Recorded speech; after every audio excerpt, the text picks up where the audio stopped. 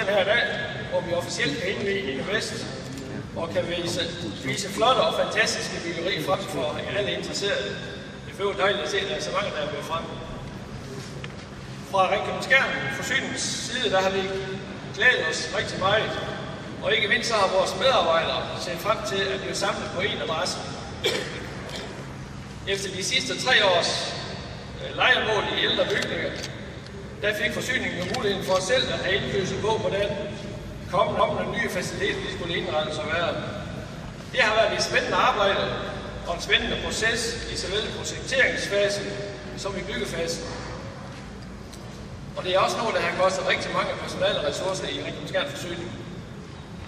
Stor tak til alle jer medarbejdere, som har lagt meget energi heri, og ikke mindst stor tak til Søren Jakobsen og Fink Jessen for jeres indsats, og ikke mindst her i selve byggefasen. Vi har fået en fantastisk, anderledes, spændende bygning, som med sin størrelse og form fylder godt i landskabet, og ikke mindst valget af de varme orange farver gør, at bygningen adskiller sig positivt ud. Vi har fået en bygning med lyse og venlige kontorfaciliteter i et åbent, transparent miljø med mange glaspartier. Arkitektens tanker omkring åbenhed, nærhed og synergi synes jeg til fulde er blevet opfyldt. Det kan I jo så også ved selvsyn selv konstatere, når I øh, kommer rundt og ser bygningen.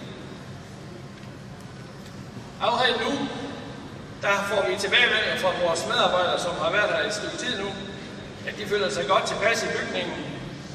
Nu glæder de sig kun til, at håndværken de bliver helt færdige, og at de tekniske installationer de bliver indreguleret helt færdigt. Værkstederne har med byggeriet ligeledes fået mulighed for at indrette sig optimalt og tidsvarende til deres aktiviteter. Sammen med biler og udstyr, så er det et område, der kræver meget plads. Og det er også derfor, at den indre gård, som vi står i her, det bliver et meget centralt område for vores teknikere og for værksteder.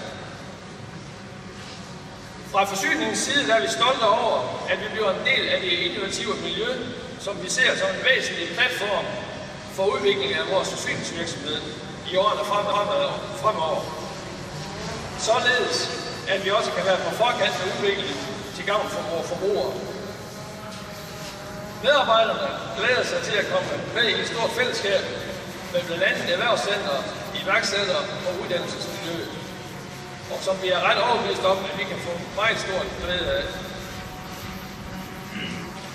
Vi håber, og det tyder snart på, at der i dag kommer rigtig mange på besøg, således at man ved selvsyn kan se, hvilke muligheder der ligger i denne her fantastiske bygning.